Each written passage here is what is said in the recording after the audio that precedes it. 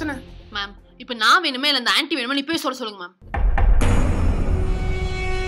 உனக்கு யாருதான்ப்பா வேணும்?